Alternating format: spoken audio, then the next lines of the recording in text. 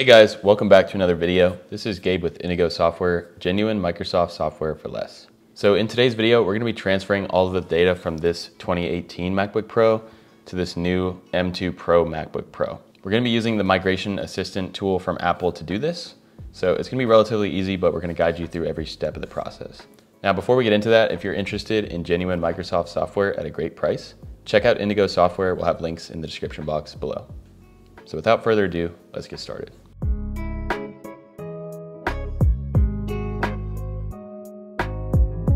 All right, so I've just opened this computer for the first time.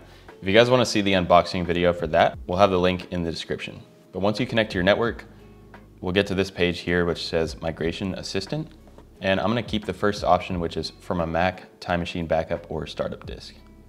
press Continue. And here it wants me to connect my Mac to power.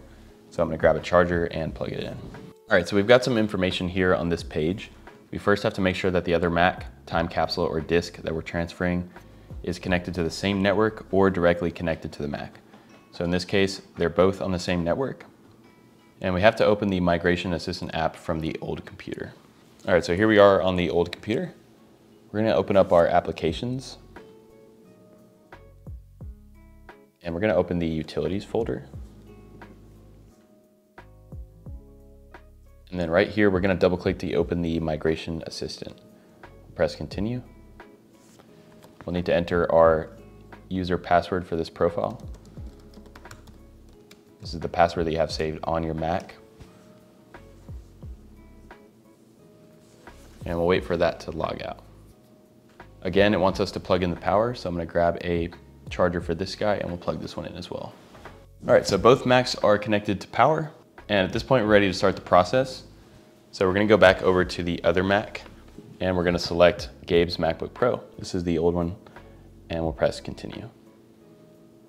Now here it's suggesting that I update the Mac to the latest software before we go ahead and do the migration.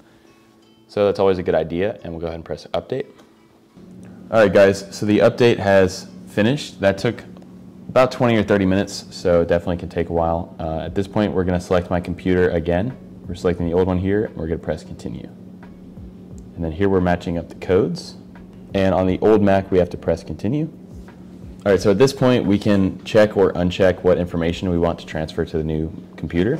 And I'm gonna leave everything the way that it is, except for this other user, because I just don't need that. And we'll press continue. And here we can set a password. This is gonna be used to log into this Mac. And once you have the password in, we'll press set and we'll press continue. And here we'll just check agree and we'll press agree again.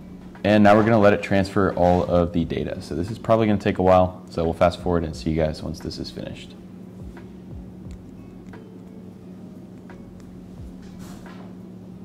All right guys, so we've initiated the transfer of data between these two computers.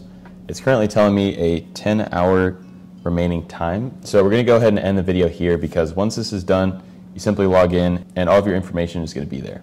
So again, if you're interested in genuine Microsoft software at a great price, check out Indigo Software. We'll have links in the description box below. If you found the video helpful, we'd really appreciate a like, comment, subscribe, and share. So thanks for watching, and we'll see you guys in the next video.